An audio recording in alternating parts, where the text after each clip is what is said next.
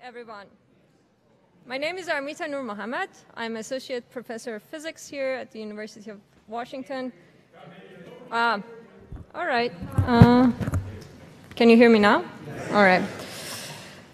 Okay, I'm Armita Nourmohammad. I'm an Associate Professor of Physics here at the University of Washington, and I would like to wel welcome you to our Autumn's Frontiers of Physics lecture. The Frontiers of lecture, uh, Physics lecture series brings to the University of Washington and the Seattle community world-class uh, scientists explain to you the most exciting developments and discoveries in physics. This le lecture series was founded in 2014 by Dr. Patrick O'Hara, a UW alumnus, and uh, Professor David Kaplan of the Physics Department and the Institute for Nuclear Theory here at UW. We have so far showcased 16 outstanding presentations by top figures in the field, including nine Nobel laureates. The topics cover a wide range of phenomena from early universe to the present, from extra galactic scale to microscopic world of quantum mechanics, from abstract theoretical concepts to the subtleties of otherwise familiar ideas. And today we will hear about the newly emerged field of biological physics, which brings the physicist's style of inquiry to bear on the beautiful phenomena of life. This is my own field of research, so I'm particularly uh, excited to hear um, what we are going to hear tonight and uh, about tonight's event. The lecture series is only possible by the work of a diverse and spirited committee here at UW with members of the faculty and our community uh, who have joined Dr. O'Hara and Professor Kaplan um, in realizing this public lecture series. You can visit frontiers.uw.edu to view our past lectures, learn about upcoming events, and also if you're interested um, to support this series. I'm very happy to be able to join you here in Kane Hall. Many of you are part of the University of Washington community, including the Friends of the Department of Physics and College of Arts and Sciences.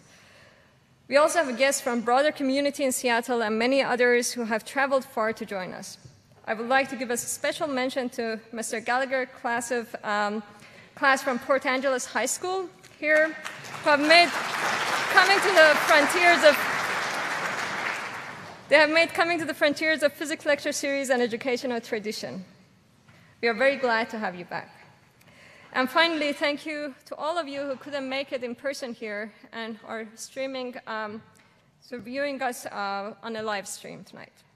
This evening, it is my pleasure to introduce to you William Bialek, known as Bill, who will be presenting about how physics can give us a unifying tool to understand diverse biological phenomena, from emergent and mesmerizing motion of bird flocks in the sky to precise and repeatable development of embryo in, fru in fruit flies.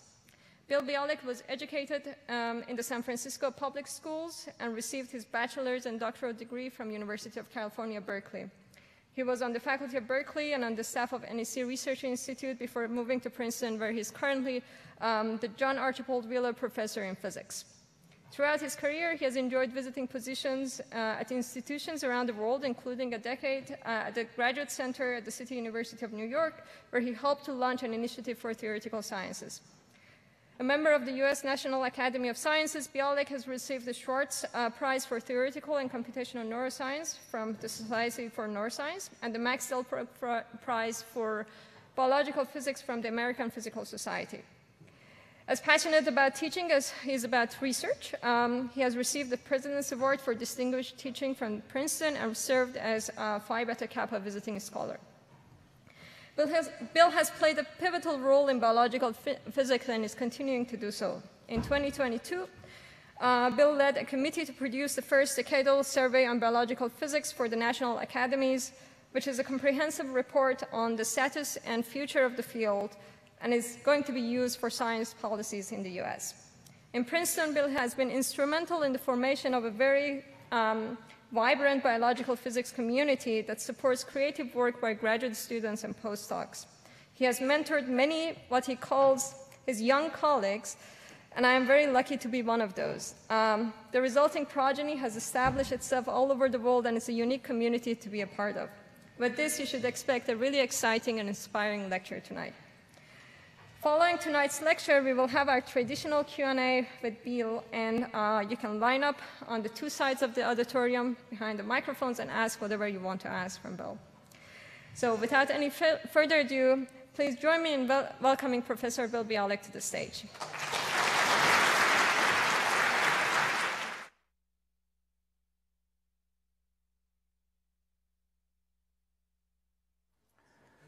Thank you, Armita. That's, uh, that's very kind. Um, it's a great pleasure to be here. Um, the, it's very bright. Um, uh, okay, enough of that. Um, it's a special pleasure because actually the first time I was ever invited to give a physics colloquium, I was a, a postdoctoral fellow in Santa Barbara, and I came up here uh, at the behest of Eric Adelberger. And that, uh, I still have very strong memories of that visit. I've had the good fortune to be back episodically since then, and by now, um, lots, of, lots of old friends are here, and in these few days, I've also met uh, some wonderful new people that I've been enjoying quite a lot. So um, thank you all for coming, and thank you for the, to the committee um, and to the sponsors for this honor. Um, it is, as you no doubt realize, those of you who've attended these in the past, it is, it is an imposing list to find, yourself, find your name at the end of. So um, thank you for that honor. Um, what I want to do tonight is um, to give you, hopefully, to communicate uh, the excitement that my colleagues and I have about thinking about the beautiful phenomena of life. So physicists are interested in lots of things. Um, over the course of this lecture series, as, as Armita mentioned, uh, things from the very small to the very large, from the very fast to the very slow. Um, but there's kind of a gap in the middle that for many years um, uh, physicists had trouble dealing with, um, and that's us. Uh, so um, something changed. There, there's a long history, which I won't recount. Um, something changed uh, around the turn of this century. I'm a little worried about the sound. It, thank you, yes. Um, let's see. There are two microphones, and so it's possible that turning off one of them will help.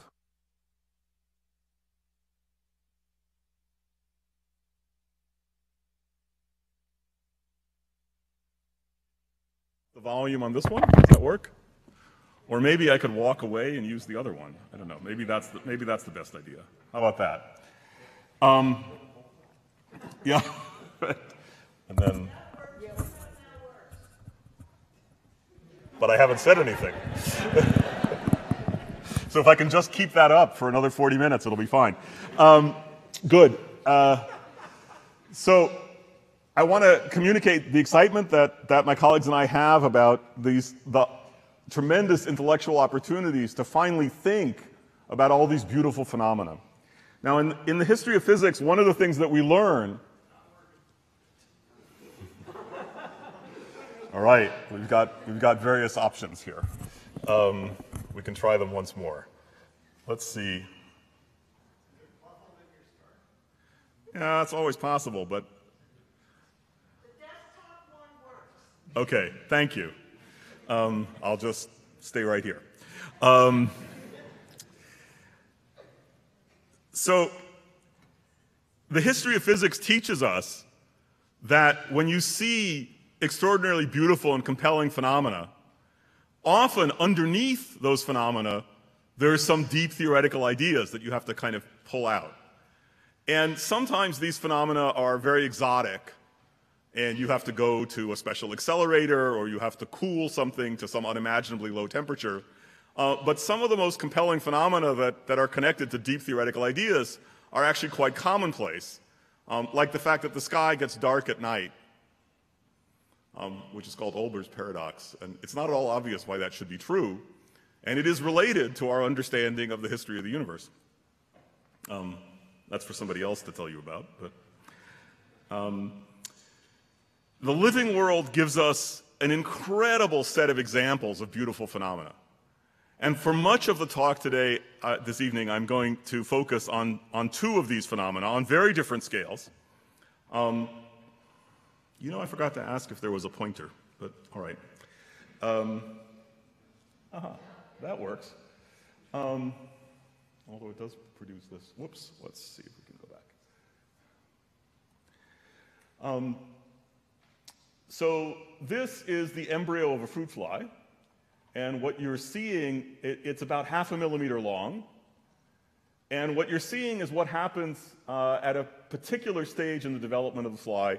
And, and the view you have is because the fly has been genetically engineered so that all the cells glow when you shine light on them. And the, the microscope has been focused through the middle of the embryo. So you see the cells around the outside, around the edge, and the interior is relatively blank. Um, and the moment that we've, that's been captured in this, in this movie is the moment when the first structural change of the embryo happens, which is this invagination here, which separates what will become the head of the embryo from what will become the rest of the body. And we're going to spend some time sort of digging into that phenomenon. What you see underneath is a different view of the, of the fly embryo, in which the cells have been, in which the embryo has been genetically engineered so that certain, certain particular molecules light up. And you see that they form this pattern of stripes. And some of you may know that, that insects have a segmented body plan. And in a certain sense, this set of stripes provides the blueprint for what will become the fully developed organism. And we'll say some more about that. On the right, you have an image. I don't have to tell you what you're looking at. It's a flock of birds. And um, these are European starlings. And what I would like to sort of remind you of is that the scale is enormously different. This is half a millimeter, and this is hundreds of meters. Um, so the difference in scale here is a factor of uh, 10,000 or so. And what you see is this beautiful, uh, coherent behavior of thousands and thousands of birds, which in some sense is ordered and in some other sense is very fluid. And we'll see that this sort of everyday phenomenon um, has, again, underneath it, some features which are very surprising. But before going into those examples, I want to pick one example to kind of dive into to give you a flavor uh, for what we're doing. And it's a somewhat older example. And it's an example of a physics experiment on people. Um, in this experiment, uh, which is from the 1940s, what's happening is that, um, yeah, actually, a pointer really would be good, but oh well. Uh, maybe I can gesture. Um, what you see here is the, the usual stuff of physics experiments. There's a source of light, there are mirrors, there are prisms, there are lenses, and then on the left, you'll notice that there's a little ball, and with a dotted line showing you uh, pointing off in one direction away from the actual source of light. That little ball is the eye of the subject in the experiment. And um, the person's being asked to look forward, but turn their eyes a little bit to the left, in this case, um, so that the light will hit not in the center of their field of view, but a little bit off to the side. And what, is, what can you do in a setting like this? You can do the simplest thing. You can flash the light and ask people whether they saw it. And the only thing you, if that's what you're going to do, then the only knob that you can turn to change people's behavior is how bright the flash is. So the experiment is you change how bright the flash is and you ask, did people see it? And I think you all know that people have a certain degree of randomness in their behavior. So even if you flash the light the same way every time, sometimes you see it and sometimes you don't. And so if you do this many, many times, you can estimate the fraction of time that the person says they saw it, or in slightly more technical language, the probability that they see it. So that's what these folks did in the 1940s, and they produced this um, figure which uh, very much is of its era in terms of illustration style. And we can do a little better today. Um, the three sets of data points in different shapes are the three different authors of the paper who all served as subjects in the experiment. And what you see is that if the flash is very dim off to the light, to, to, the, to the left, sorry, um, then you never see it. And if the flash is very bright off to the right, then you see it every time. And somewhere in between, there's this kind of perceptual netherworld where now you see it, now you don't. And you might think that that's because people aren't paying attention or because they're, they get a little tired and so on. That's actually not what's going on at all, which is the great surprise. Just showing you this plot, I haven't told you much about it yet, but I want to draw your attention to a few things. One is that if you measure things in the right units, you'll, you'll, notice that there's a little note saying that on the, on the horizontal axis we should use better units to measure brightness. Uh, those of you who are photographers, actually modern day digital photographers might not know this, but if you're a little older, you may know that, that measuring the brightness of a light is a very complicated business. And there are all sorts of funny units. There are foot candles, there are lumens, um, all sorts of stuff. The readings on your, on your light meter for your camera.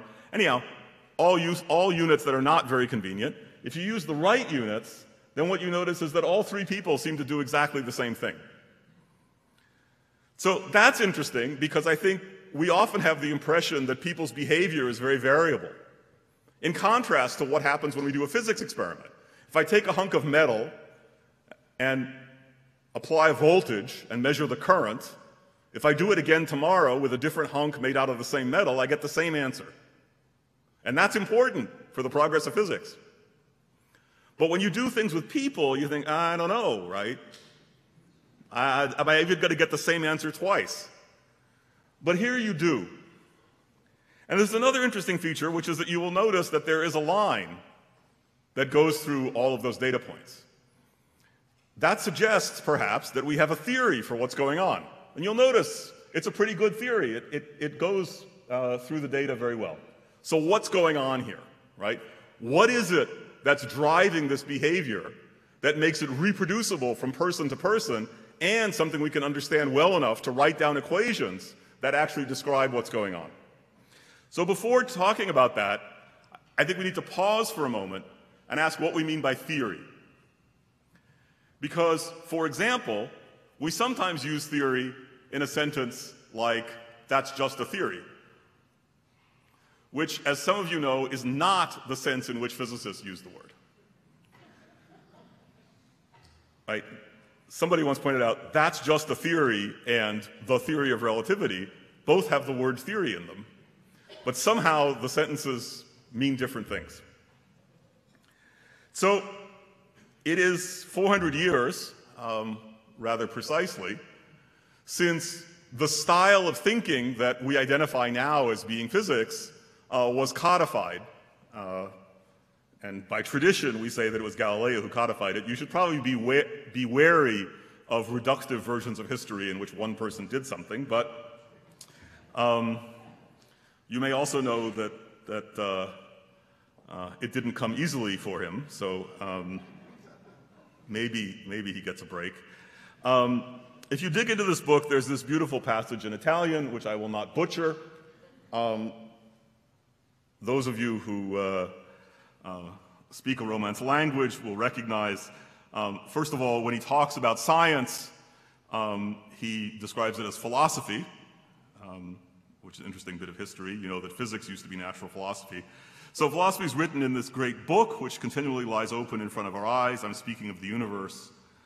Um, and eventually he gets to the phrase, it's written in the language of mathematics, um, which is the thing that we take away.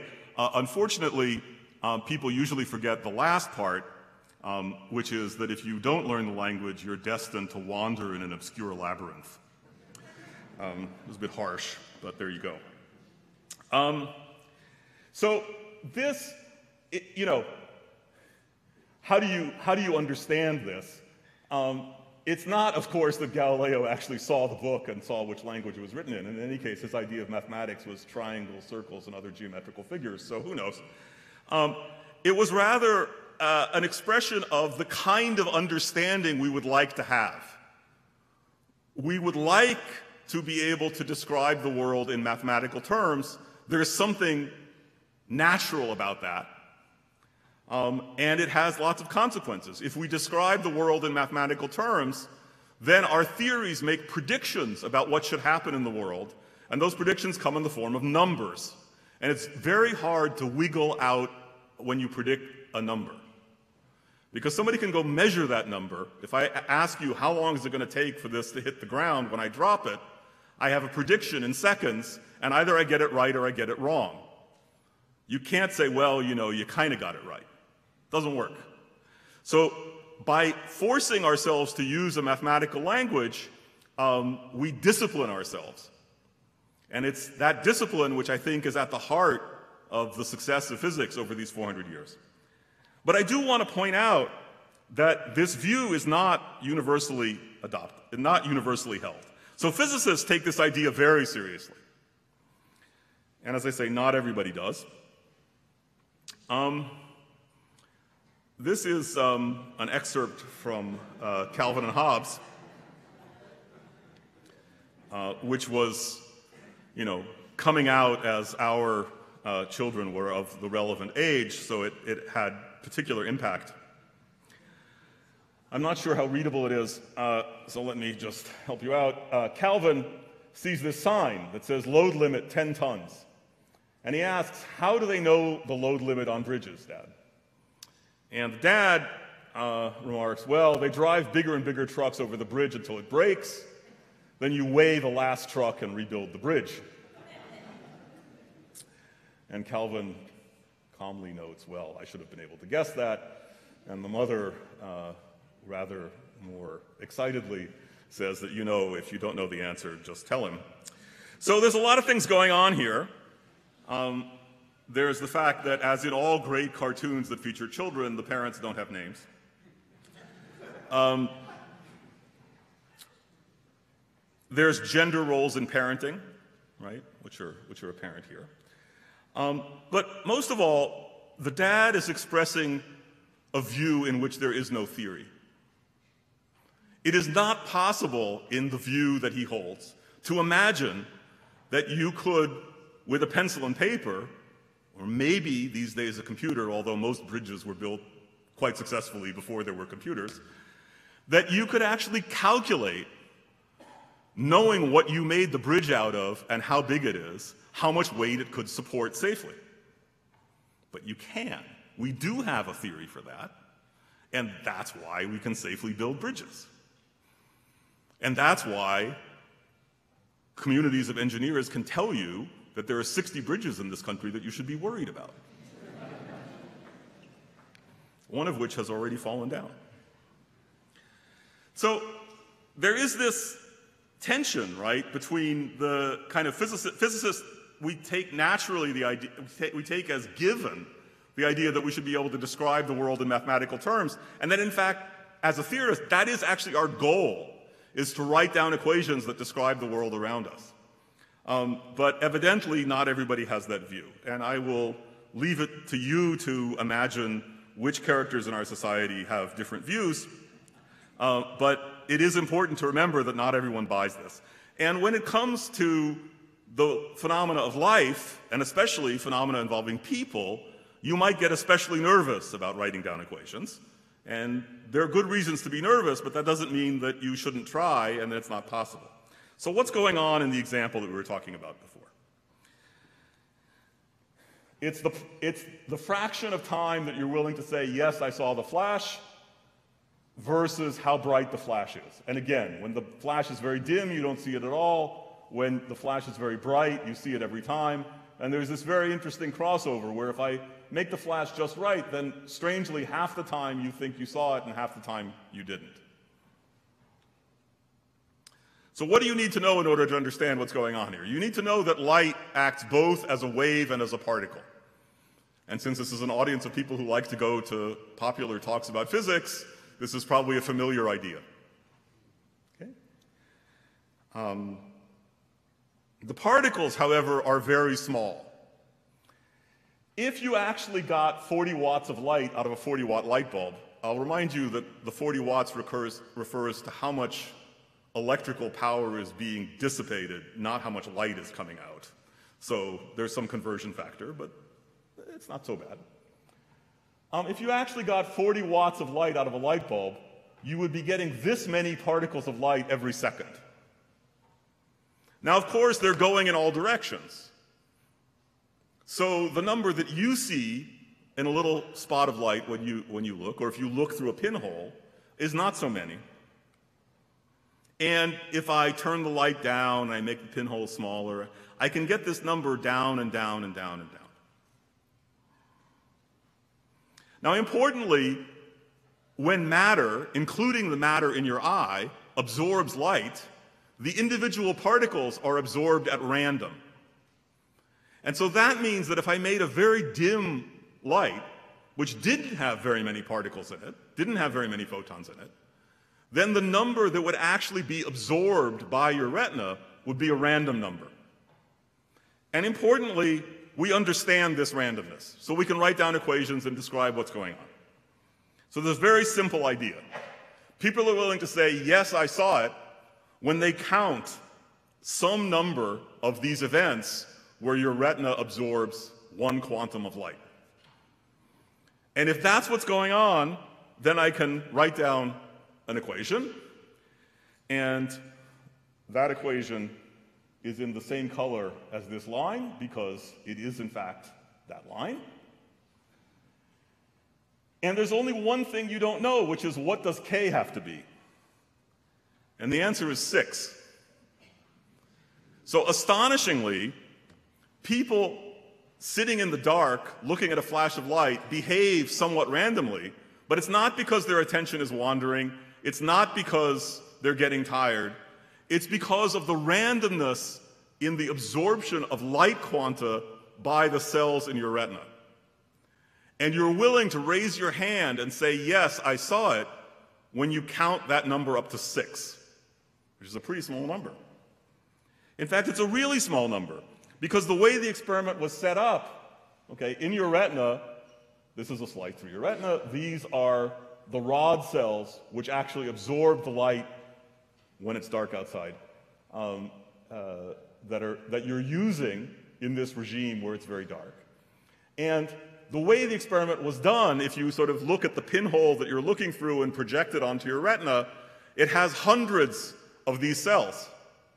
But if you have six of these events and they're spread out over 100 cells, then no cell ever sees two, or at least it's very unlikely. So it must be that, ev- that a cell can detect one quantum of light. And indeed, if you do an experiment where you take one of these cells out of the retina and suck it up into a pipette so that the cur- electrical current that flows in and out of the cell flows up your pipette where you can measure it with an amplifier, what you see is that when you flash a light, sometimes you see nothing because zero quanta were absorbed. Sometimes you see a signal whose amplitude is one in some units because one quantum was absorbed. And sometimes you see two because two quanta were absorbed. And I told you that the number should be random and it should come out of a particular distribution, and all of that works. So individual cells in your eye can respond to one quantum of light. So why is it that you have to count to six? Well, it turns out that anytime you build a device to detect light, it has what um, people in the business call dark noise. There's some rumbling in the background. This, you'll notice, for example, that this electrical signal is not completely flat before the photon arrives. And in fact, if you look carefully at this, you'll find that there is one event which is not tied to one of these flashes. It just happens all by itself. Why is that? That's because in this cell, there are a billion molecules of the pigment rhodopsin, which is the molecule that absorbs the light. And what happens is that when one of those molecules absorbs one photon, one quantum of light, it changes its structure.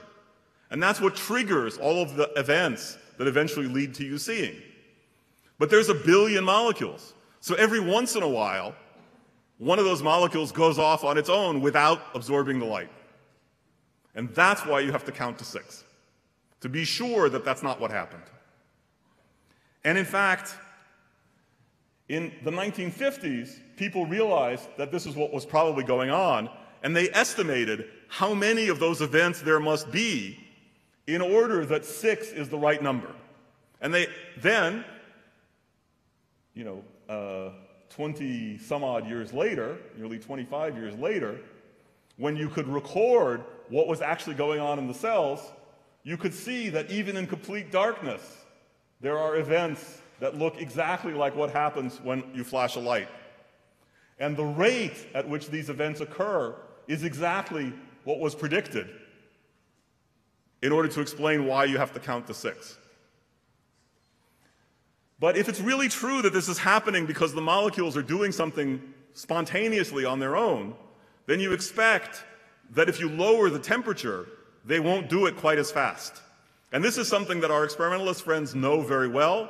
If you want to build a very sensitive detector for light, you should make it cold. Now, for us, we don't really have that option.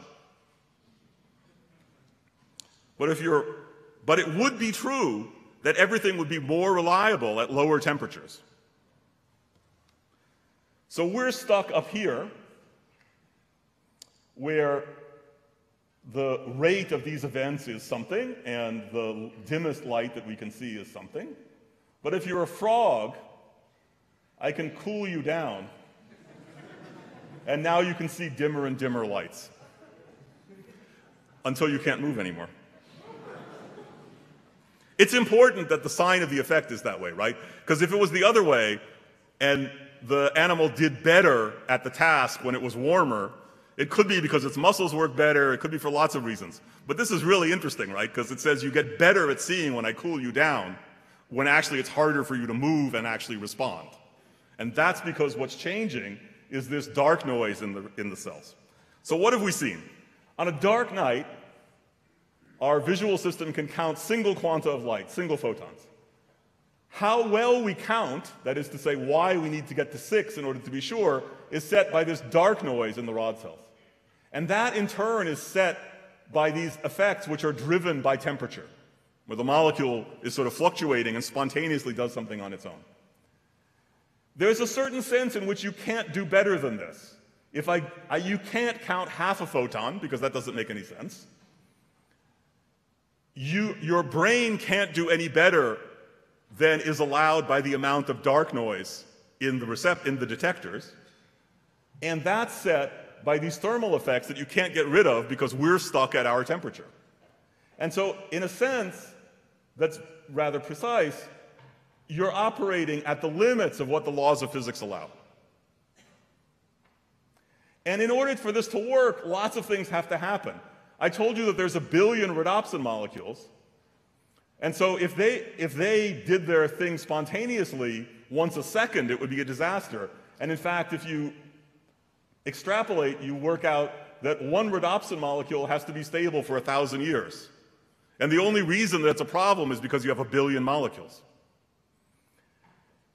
In the cell, one molecule changes its structure and the cell responds with that nice little electrical pulse. And so, in a sense, what's happening is that the, the cell is smelling one molecule out of a billion that has a different structure.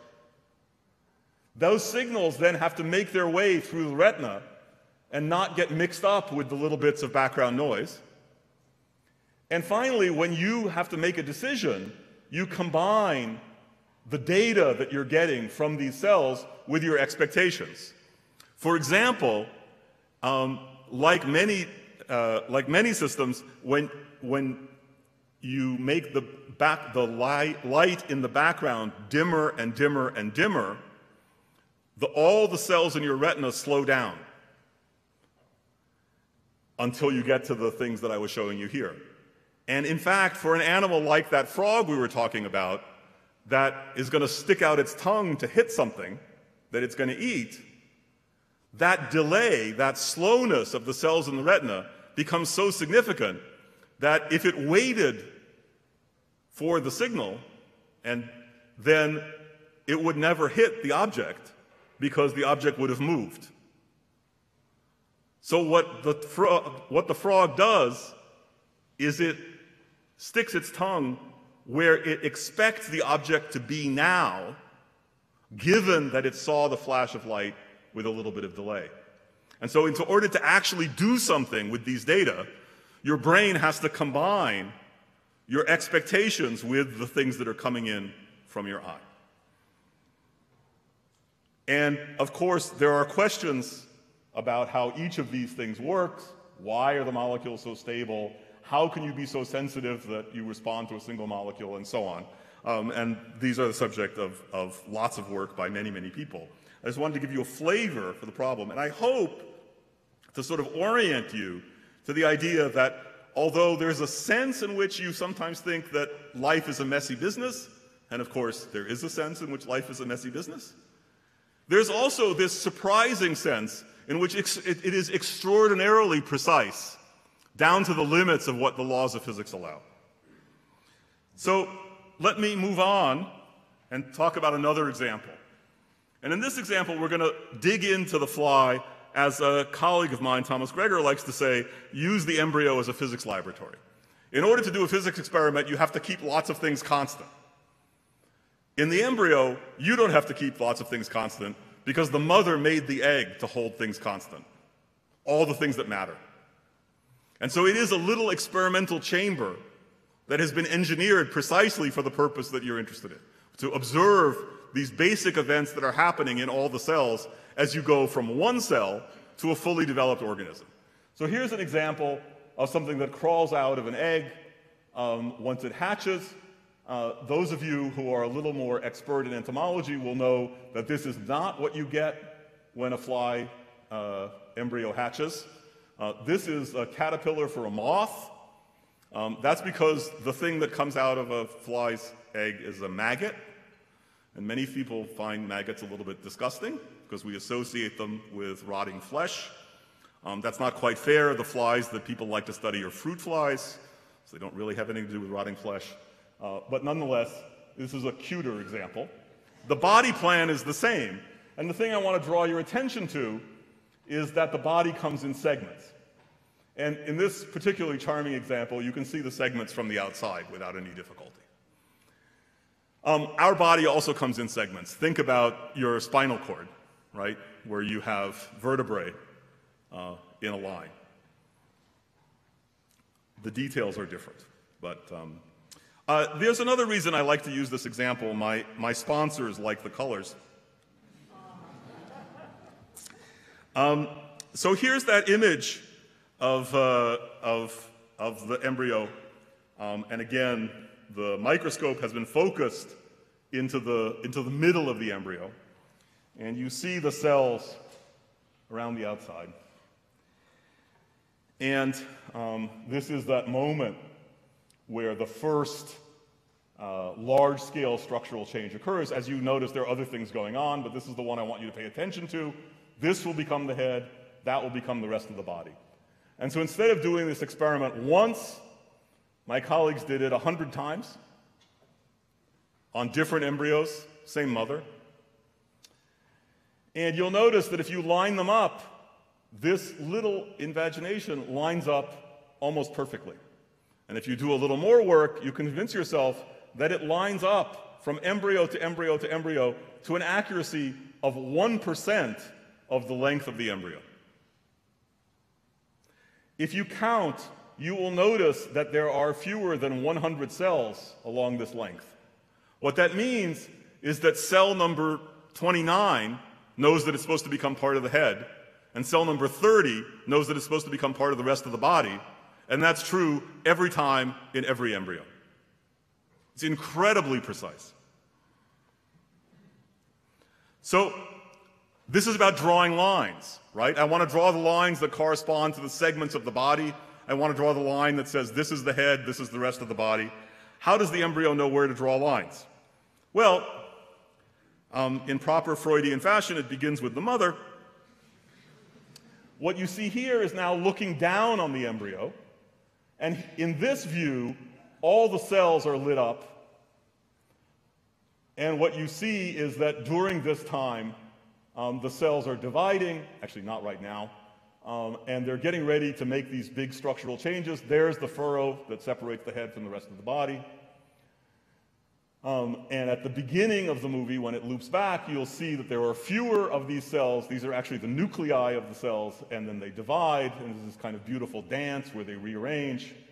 Um, and in the meantime, in this view, the, embryo, the fly has been engineered so that there is a particular protein which glows when you shine light on it. And you'll notice that there's a lot of it at the left and there's not very much at the right. And the left is the part that's going to become the head, and the right is the part that's going to become the tail. And so, in some way, this protein provides a map for telling, you, telling cells where they are along the length. If you see a very high concentration of this molecule, you must be near the head. Low concentration, must be near the tail. And this molecule is there because the mother put the messenger RNA for this protein at a cardinal point at the very far end of the embryo. And then it gets translated into the protein and moves through um, during the course of development. And there are three of these. There's one here that is the one we're showing you. There's one that goes on this side, goes the other way. And interestingly, there's a third one that symmetrically marks both ends. So the mother has put signposts for all the cells at the ends of the embryo. And then the signals spread in. What do these signals do? Well, it turns out that these are molecules that inside the cell function to turn other genes on and off.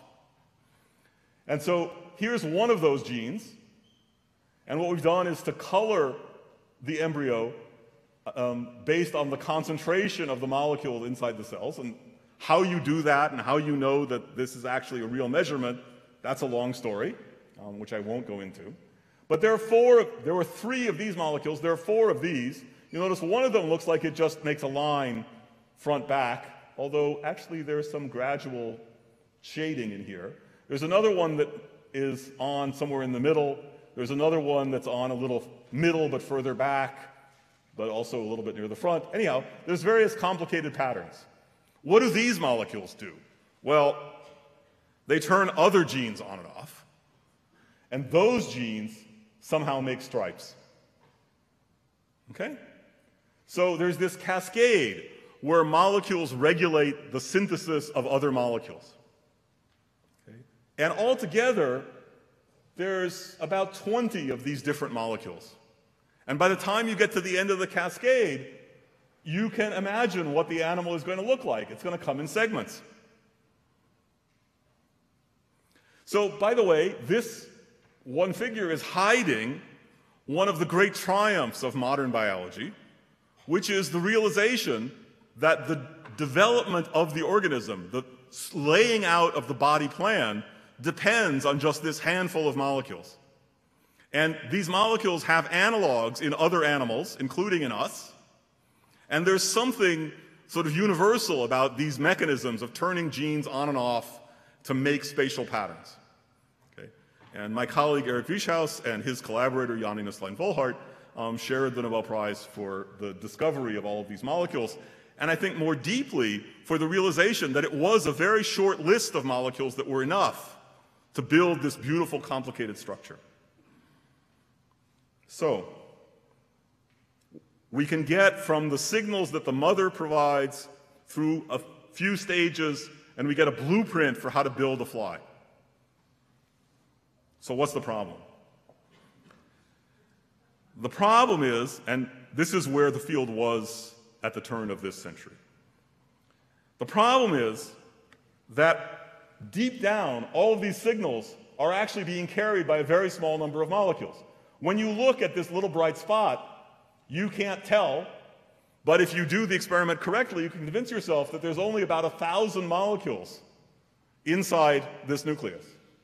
And the nucleus next to it has 10% more or 10% less. And so you think to yourself, I don't know, a thousand, 10% is 100. I can count to a thousand and I can count to 1100, and those are different from each other. What's the problem? The problem is that the embryo has no way of counting all of the molecules inside the cell or all the molecules inside the nucleus. In order for these molecules to do anything, they have to find their way to a very particular target along the cell's DNA, which is where they act to turn on or off the other genes.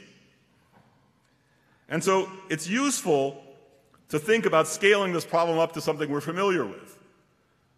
Let's take the nucleus and scale it up to the size of our neighborhood. It's a few microns across. Let's scale it up to about a kilometer, which is the circle that's shown there. Then, if you do that, the target that they're aiming for on the DNA is about the distance between my shoulders.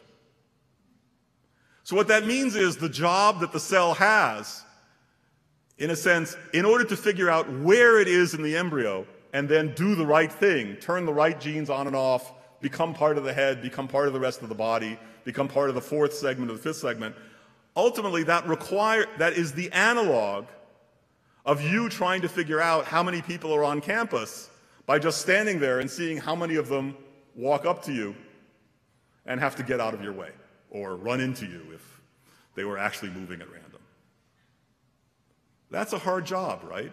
If they sprinkled an extra 10% of students on the campus and you stood there, would you notice? If you wait long enough, maybe. But of course, it, it, on campus, they're mostly confined to paths. Inside the cell, they're moving around at random. So it's a much harder problem.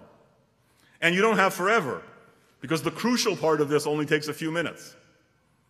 This is a hard problem for the cell to solve. And so maybe there's a principle here that in order to do this, every cell has to squeeze as much information as it can out of this very limited number of molecules. And if you want to do that, you have to solve many problems. You have to not make sure there isn't any extra noise beyond the fact that there's a limited number of molecules. Um, you have to use on the molecular level something which evolution has used on a macroscopic level. Um, if you look at many different frogs, uh, you'll notice that they hear best at different frequencies, at different pitches. You'll also know that frogs talk to each other using frog calls. And you may not be surprised to learn that the frequencies of the frog calls match the best hearing frequencies of their species. So, in some way, the embryo can do the same thing. It can take the concentrations of these molecules and try to put them in some sort of sweet spot for all of these mechanisms that follow. It's also true that you want to be sure that you don't lose any information when you read it out. And so we developed a theory for how do you get from the concentrations of these four molecules to a cell knowing where it is. And if you follow this reasoning, you can convince yourself that you understand how it's po- there is enough information here to get to 1% precision. But remember that, that we had this picture of one set of molecules that are in there, put there by the mother. They turn another set of genes on and off. And what those, what those molecules do is turn other genes on and off. But actually, they turn each other on and off too. So there's a kind of network of interactions sitting in the middle of all this. And that's very complicated. But if that doesn't work the right way, then you'll lose all of this information. So is it possible to have a theory where we tune the internal dynamics of that network so that you preserve all the information? So if you wanted to write a description of that network, I told you there are three molecules that are made by the mother and four molecules, and they can all talk to each other in lots of different arrows. And I sometimes think that my colleagues drew this figure um, in order to emphasize how impenetrable the whole thing is. With arrows going everywhere and a few of them highlighted for various reasons. Um, if you count the arrows, you'll see that, well, there's 4 times 4 is 16, plus 3 times 4 uh, is 12, so there's 28 arrows. And they're all possible and they all have numbers attached to them that determine what really happens when this molecule arrives at the site along the DNA that encodes for that molecule. So you need some numbers to describe that. There's more than 50 numbers you would need to know in order to describe what's going on here. And so this is the kind of complexity that we see in the living world that physicists historically have shied away from. But we have a hint here which is that the system is extraordinarily precise and operates with a very limited number of molecules. So we could try out the idea that all of these parameters are determined not by some accident of evolutionary history, but by the need to maximize how much information the cells have about where they are in the embryo. So we can actually do that calculation. It's hard. Um, and technically what we're doing is we're saying, well, let's, let's, run, let's do a simulation of an entire embryo with all of the cells each having this network of interactions and the molecules able to move between the cells and so on. And the things that I'm going to tell you are given is the inputs that the mother provides and the maximum number of molecules that you can make. Because the principle is squeeze as much information as possible out of a limited number of molecules. And we actually know what the maximum number of molecules is because people can measure it.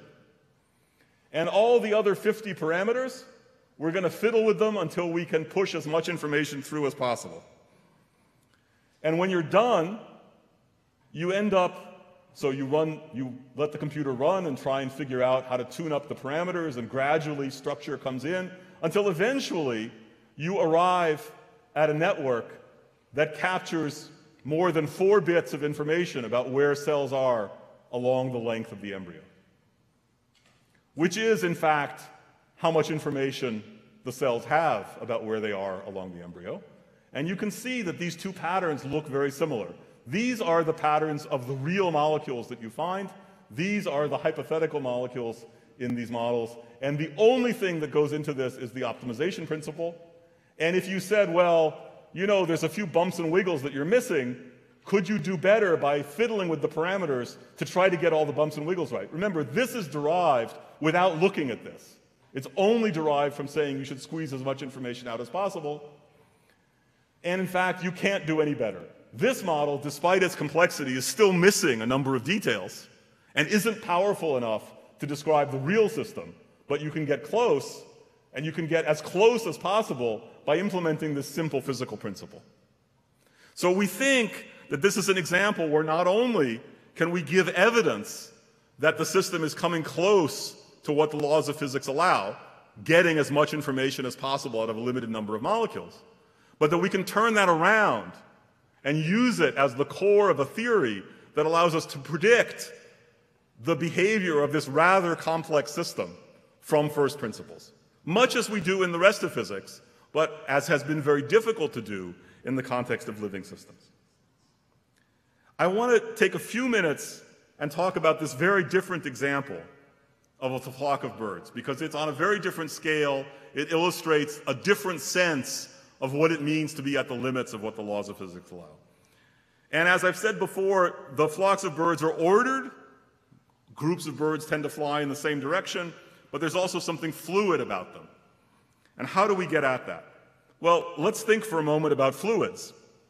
Suppose you had a very powerful microscope and you could look at a fluid with such high resolution that you could see the individual molecules. Schematically, you might see something that looks like this. Now, the molecules aren't square, but you get the idea. There, there's some way that they're scattered around. There are some places where they're a little more dense. There are some holes where there aren't too many molecules. But these distances are unimaginably small, right? They're the size of single molecules, so it's okay. But apparently, I've zoomed in enormously in order to see all this. And if I zoom in, I, I, can actually write equations that describe what's happening at this scale. But I could also zoom out. And as it turns out, this picture is a blowup of this little region. And when you look at this, what you would say is, I, I don't care about all these molecules. What's obviously going on is that there's a wave passing through the fluid. And I would like to write down equations that describe the wave and forget about the molecules. Because that would make more sense.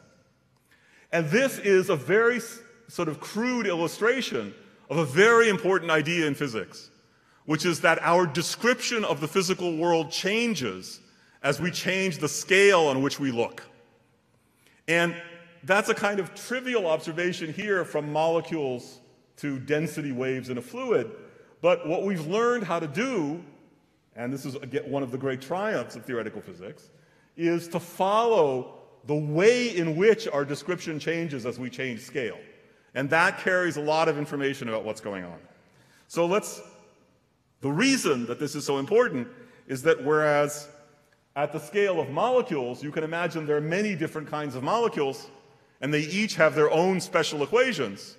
By the time you get to talking about waves in the fluid, they all look the same, whether it's in the water on the scale that you can access in your bathtub, or whether it's on the scale of, of uh, a twister touching down in a plain, um, or uh, a larger scale whirlpool, or a storm, right?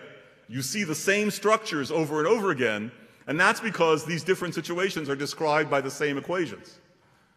But what's going on with molecules are very different, and you certainly wouldn't want to talk about molecules in order to describe the weather, right? That would be a bad idea. There's too many molecules. So, what about birds? Suppose I draw a picture in which there's a bird here, and he's going in this direction, he's flying in this direction, and his neighbors are flying in more or less the same direction. And what I mean by drawing these arrows are really what the individual birds are doing. But imagine that I could blur things out and kind of zoom out, just like we did with the molecules in the fluid. Well, then, when you zoom out, what your arrows might represent is not the velocities of individual birds, but the velocities of all the birds in a neighborhood. So, what happens as you zoom out? There are a couple of possibilities. One possibility is that as you zoom out, the similarity of individuals to their neighbors actually gets stronger. And this is kind of what happens with geese flying in formation. If you look very closely at one goose, it looks a little funny, but when you look macroscopically at the whole flock, they all seem to be ordered almost in a crystal. On the other hand, you could imagine that as you zoom out, well, you know, this bird is talking to this bird, but that bird talks to another bird, which talks to another bird, talks to another bird, and eventually the information about which direction you're supposed to be flying in gets lost. And so everybody kind of becomes chaotic. And of course, this wouldn't really be a flock, right? This would be a bunch of birds flying off in random directions. And then there's something special that can happen, which is that it might be that as you zoom out, everything stays the same, which would be very special because it would mean that of all the things that can happen, right? There's many ways in which this can happen, and there's many ways in which this can happen, but there's only one way for the picture to look the same as you zoom out. So it, we can actually take these ideas, which um, the experts in the audience will recognize, um, and uh, implement them in mathematics um, very compactly and with very little arbitrariness. And once we do that, we can ask are we at the special point where you get this scale invariance, or are we somewhere in the sort of crystalline uh, uh, behavior of the flock of geese? Or are we actually in this sort of random behavior? If I look at a big enough flock, it will eventually dissolve into perhaps multiple groups or something like that. And um, turns out that the theory that we produce has, um, does an incredibly good job of explaining how correlated. So, what do you test? You test, right? On average, all the birds are flying in the same direction. But this one will be a little bit off, and this one will be a little bit off. But you'll notice that the way in which they deviate from the average will be related to one another. And so you measure how similar is the deviation from the average for a bird standing that is flying over here and a bird that is flying 20 meters away or 30 meters away and so on. And what you see is this very simple regular behavior which is reproduced perfectly by the theory. And there's, if you have to look at this plot, um, really it doesn't have much structure it does have one characteristic feature, which is that it crosses zero. The birds that are near each other not only are flying in the same direction on average, but if they deviate from the average, they deviate together. Whereas the birds that are far apart, if they deviate from the average, they deviate in opposite directions, which of course has the effect of keeping the whole flock together. And this characteristic scale, first of all, we predict it correctly, but if you do the analysis for different size flocks, you discover that this characteristic scale is just proportional to the size of the flock. Which means that it isn't really a scale that's intrinsic to the birds. In fact, there is no scale. The only place where you can get a length is by looking at the size of the whole flock. And so what this tells you is that the flock indeed has been tuned to this very special value of its parameters so that it has this surprising scale invariant behavior. So the embryo, it, its, the parameters of its genetic network are tuned to squeeze out as much information as possible. The flock has the parameters of interactions among the birds tuned to this special value so that the fluctuations that move through the flock are themselves scale invariant. So, what's the summary? The triumph of the 19th century and the early 20th century was to convince everyone that life really does obey the laws of physics. There's no vital force, right? And of course, this is a, it's a matter of belief until you can explain everything. So, at some point, you explain enough that you believe it, and you don't believe that there's anything mysterious going on. But the laws of physics allow for many, many things. There's a sort of whole sandbox in which organisms could play around. But that sandbox has edges. You can't count half of a photon. You can't squeeze more than a certain amount of information out of a thousand molecules. You can't order a flock of birds and have them fluctuate without poising yourself at this scale invariant point. And so, in this sense, it seems that the systems we really see in nature are poised at the edge of what the laws of physics allow. And for theorists, this is very exciting because the middle of the sandbox, anything goes.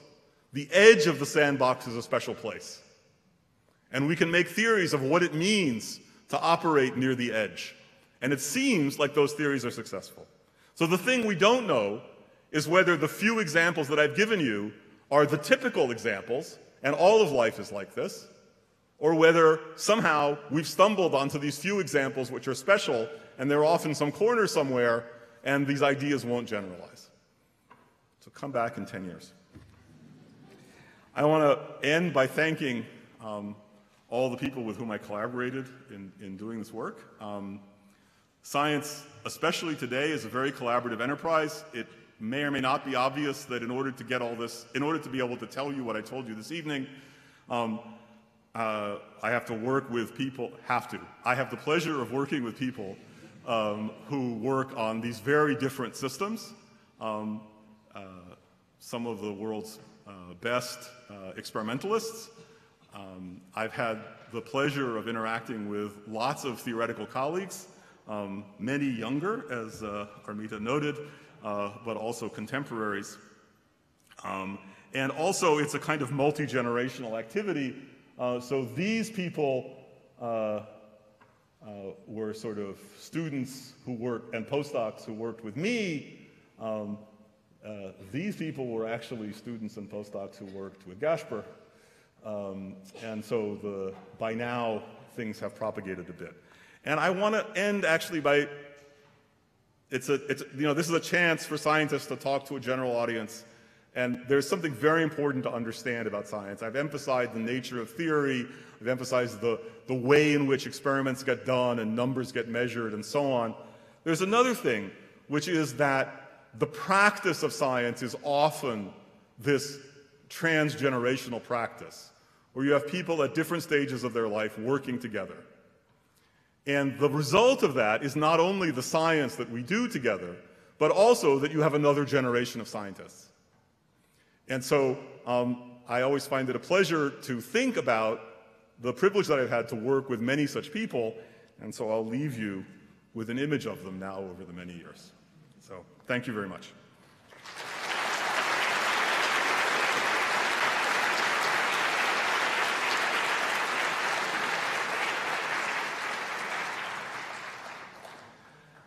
So, there is a scheme for people to ask questions, I understand. Um, there are microphones at the two ends. Um, if we bring, yeah, if we bring the lights up just a little bit, um, I might actually see you when you stand at the microphone. Um,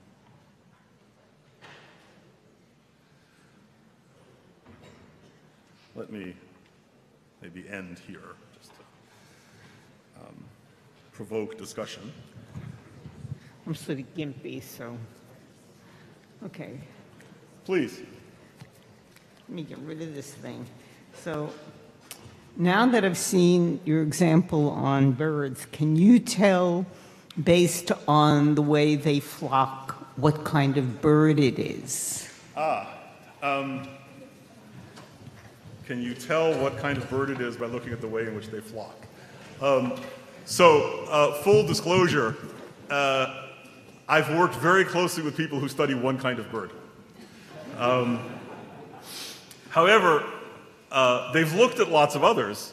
The reason they study that one is because they're in Rome, and uh, those birds conveniently do all this in the piazza in front of the Termini station where if you climb up onto um, a rather old building which is owned by the uh, Ministry of Culture, um, you can you get a nice view of them. Um, but then you have to take the cameras down in the evening. Anyhow, that's a different story. Um, I think that actually you don't need to be as mathematically sophisticated as we're trying to be in order to say yes to your question. I think that a reasonably experienced uh, biologist who's spent time with birds will be able to look at, at the flock and say, oh yeah, those are the, European starlings or something else. And of course, some of them are so very different from each other um, that, that it's almost too easy. On one of the slides, you said there's really hard math, and I'm wondering what field of math you use for your work. It's an interesting question. Um, a friend of mine once remarked physicists have a special relationship to mathematics. Um, we're not mathematicians, so we don't prove theorems for the most part. Um, I would say that, well, so let's be concrete. In order to do this, the dynamics of this network of interacting genes is described by a set of differential equations. There are underneath this individual molecules. Individual molecules behave randomly. So that means you need to use ideas from probability, and the differential equations become stochastic differential equations. Hmm.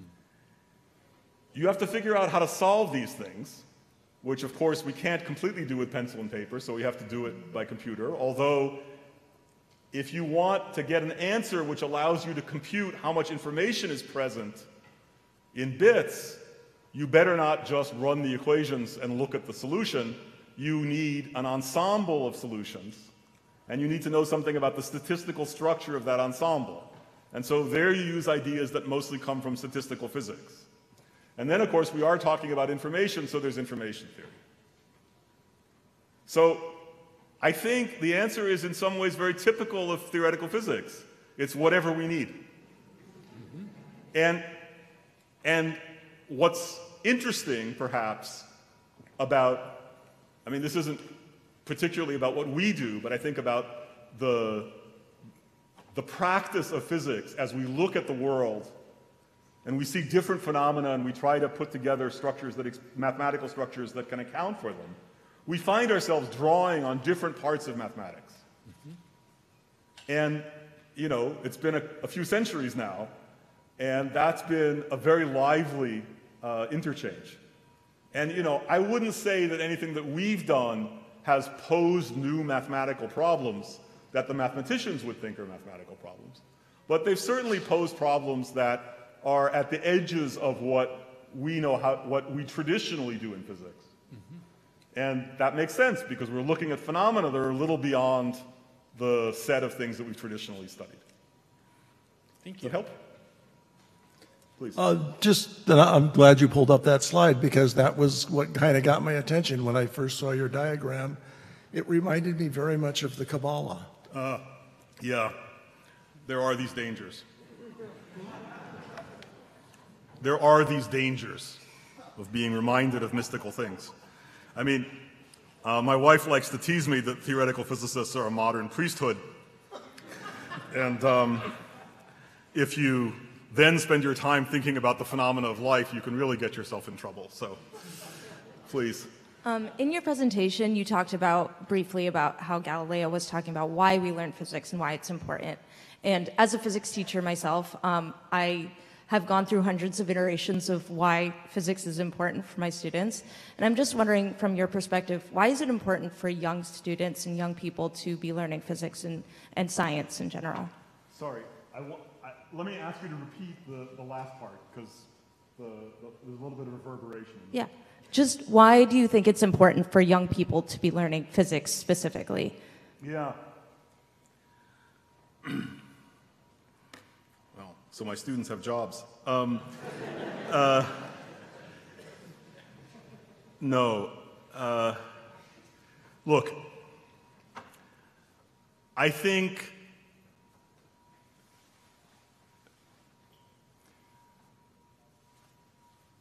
you know physicists have a reputation, not undeservedly, for being a bit arrogant. And that's because we think the world is understandable. And that's really pretty arrogant. For the rest, we should be modest. But I would say that one of the things you learn in trying to do physics is how hard it is to arrive at a convincing understanding of what's going on around you. The discipline of physics is the discipline of how you use the word understanding. We hold ourselves to a very high standard to claim that we know the answer to something. Now, there's also a practical matter, which is that we do understand lots of things. We have a way of going at it, which is not guaranteed to give the right answer in every case. It's always open how we're going to do. And that view, that approach, which as I meant, which as I emphasized is mathematical, has the power that it makes numerical predictions. So let me emphasize that, okay, we raised our children when we were living in Princeton, New Jersey. Um, all school children in New Jersey go visit Edison's lab because it was in New Jersey. Um, Edison famously was actually anti-theoretical, right? He built, he supposedly he invented the light bulb by trial and error, which of course involved the labor of a large number of unnamed people who did the trials and made the errors. And then when they succeeded, Edison invented the light bulb. Maybe you can design something or invent something as complicated as a light bulb by trial and error. You can't make this by trial and error, right? You have to know what's going to happen when you put a million transistors on a chip and lots of chips together and so on. And when you say know what's going to happen, you mean the numbers. And the discipline of physics is you understand the world when you can get the numbers right. And that's a very important message. It's important to think about climate change, it's important to think about public health, it's important to think about our choices, about how, how we make the energy that we use. It's important in, as we think about our diet. It's everywhere. And so I think that, that even if, you know, we tend to think that physics is somehow this very exotic thing that's about parts of the world we can't see. One of the messages that I hope has gotten across this evening is no, physics is about the things around you that are happening all the time. And it's this struggle to describe those in quantitative ways that give us power to understand what's happening, to predict what will happen when we wander in to unexpected places. Thank you.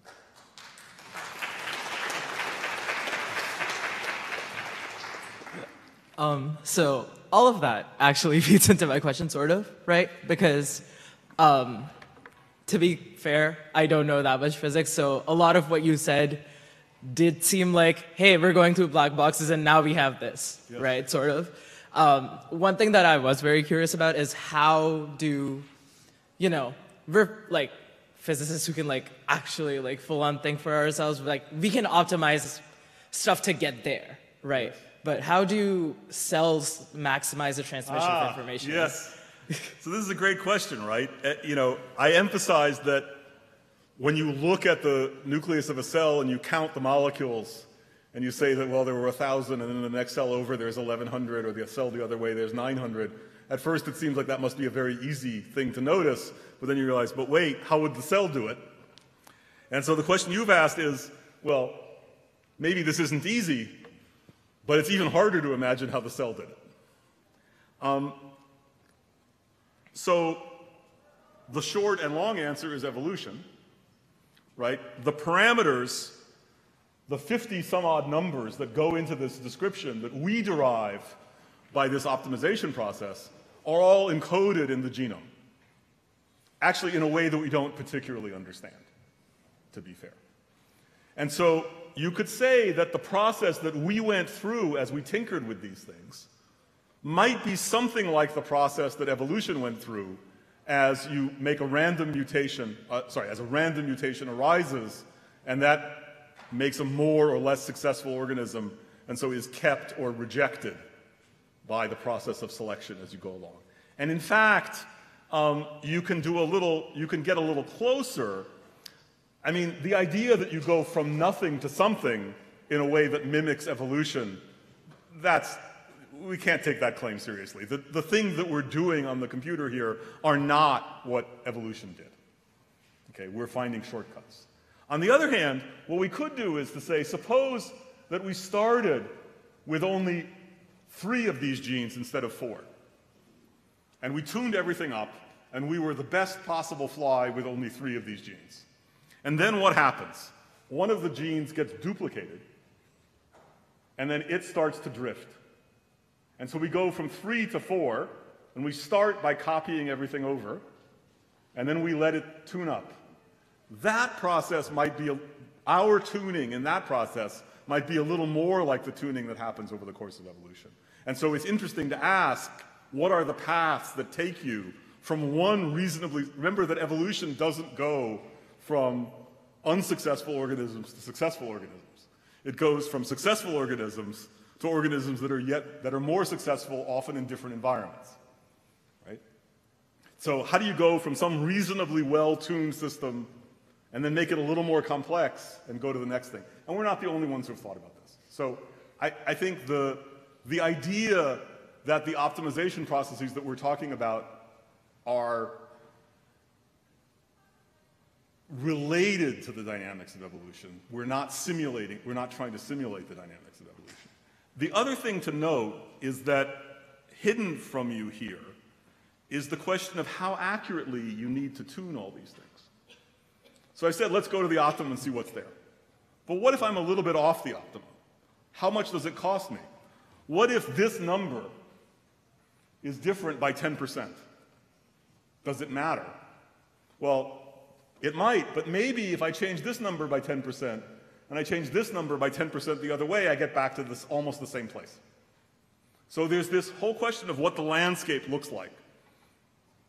And that's something where I think um, it's very related, actually, um, although this will sound like a great leap, to what's going on in modern, modern artificial intelligence. Because in modern, on modern AI, the machines that are doing the job are described by billions and billions of parameters. And they are tuned during the process of learning, not unlike what we're doing here as we tune the parameters up in something like evolutionary change. And the question of how accurately you need to set all these parameters in order to do well at the task is something that's really central to whether those learning algorithms will actually work. And I think one of the things that's come out of the revolution in AI is the realization that our intuition about that landscape was wrong. And I think we see some of the same things here, but that's a longer story. Please.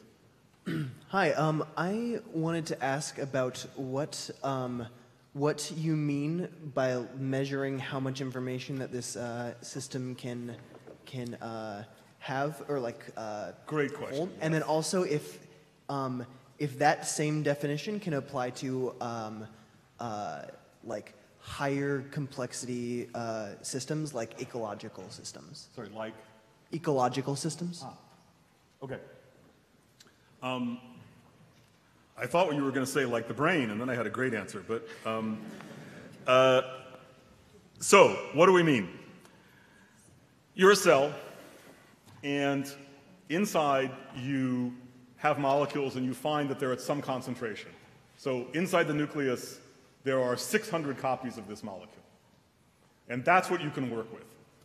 What does that tell you? So in a simple case, it might tell you, ah, 600, uh, that's actually a pretty big number by the range of things that are possible. So probably, if it's a big number, I'm in the front half of the embryo, and if it's a small number, I'm in the back half of the embryo. And because I can tell you the front half from the back half, I can make a choice between two things, and that's one bit of information. But maybe the fact that it's 600 it's bigger than average, but not quite as big as it could be. And so I can tell that I'm in the front half of the embryo, but not the front quarter. And so that would mean that I could distinguish four different possibilities. And four different possibilities is two bits, and so on. Until eventually I have enough information to know where I am to 1% accuracy, which is what the cells have. Okay? Now, how do you, you can use these same ideas in other contexts. In fact, I spent a significant part of my scientific life trying to understand how to measure how much information um, the electrical activity of neurons provides about the, what's going on in the sensory world and what the nature of the code is that maps the sensory world into these sequence of electrical pulses. Uh, and also whether there are optimization principles that say that you're squeezing trying to get squeezing as much information about the sensory world into a limited number of these pulses. I don't know how to do the ecology example. Sorry. I think there are people who do. Please. Hi.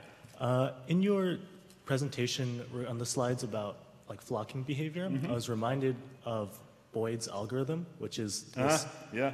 decades old like approximation of bird flocking behavior through very simple rules like separation, uh, alignment, and cohesion. Yes, very good. And I'm curious to your thoughts as to whether you believe that these three simple rules can be thought of as the source of truth for explaining this behavior, or if there's a way that you know we can explain why evolution created this this behavior. So, so the question refers to um, models that are, as you noted, decades old, um, that, that give very explicit rules for what the birds do, looking at their neighbors. Don't get too close because you'll run into them. Don't get too far away because then the flock will disperse. Try to align your velocity with the, with the velocity of your neighbors. Um, that class of models has a life in the sort of applied mathematics and computer science community. And interestingly, a very similar class of models has a life in the physics community. They originated around the same time. And in the physics community, um, that the exploration of those models led to a whole field of physics, which is now called active matter. So I, I gave you this analogy with a fluid,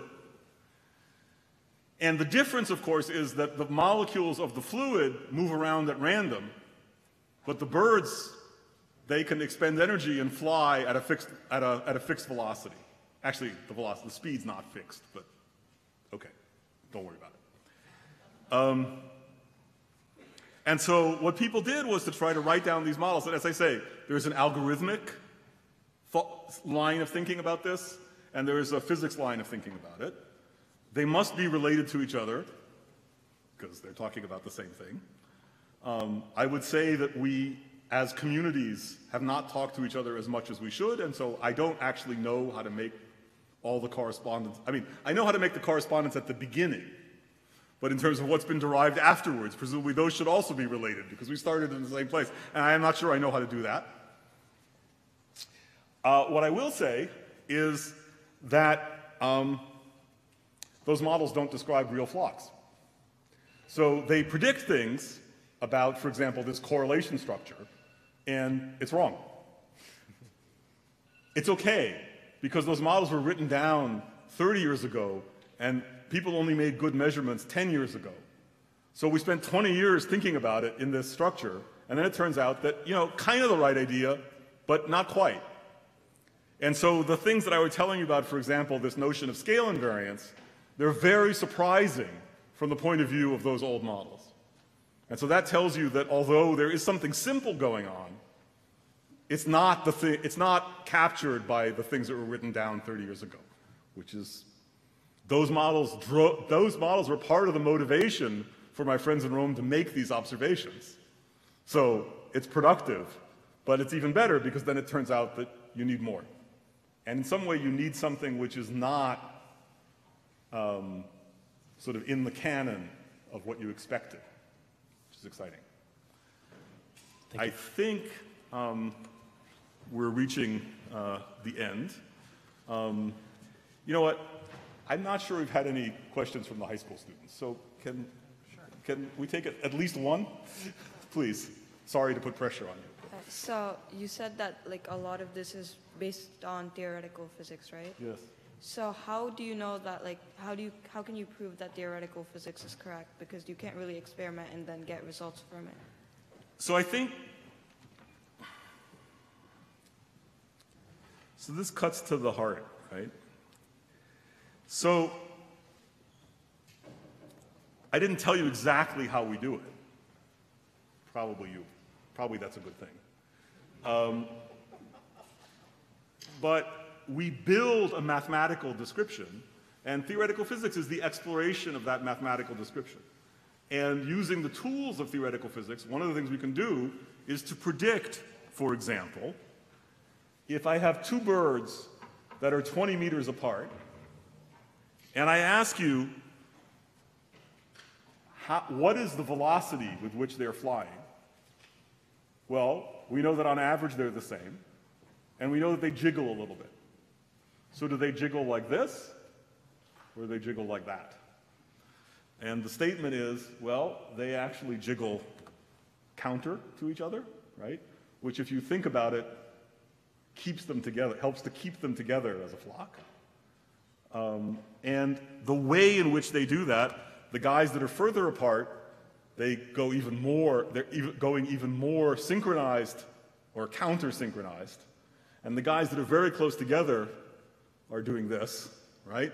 And the whole pattern in red is what we calculate using our theory. And the pattern in blue is what you measure when you look at the movie of the flocks. By the way, you can't just look at the movie, you have to reconstruct the three dimensional positions of every one of the thousand birds. That's a whole other problem. It's a computer vision problem. Um, so I think that's, that's the. Now, so there's a direct answer. How do you test a theory? You calculate the numbers and you ask whether they agree with what you measure. There's a more subtle part to your question, which is do you know you're right? So, one view of science is you never know you're right, you just know that you're not wrong yet. and there's a very philosophical version of that, but there's also a very practical version, which is that we go through life, and we, I mean, we do this in regular life as well as in science. We think we understand what's going on, and we behave in ways that are driven by our understanding. And then every once in a while, we discover that there's something we didn't understand. And so we back up a little bit and rethink what we're doing. And so that's the process, right? You never know that you're right. You just know that you haven't found the thing that's wrong yet. And so somebody asked about why it's important to study physics. That is also part of the discipline. That you don't believe that you've come to an end which is now unmodifiable. Right? You always have your best current understanding, and you're always open for the next thing that's going to tell you, ah, You thought you were doing well, but you missed something. And it could be that you missed a little thing, or it could be that it seems like a little thing, but it's a big thing. Think you're telling me we should stop.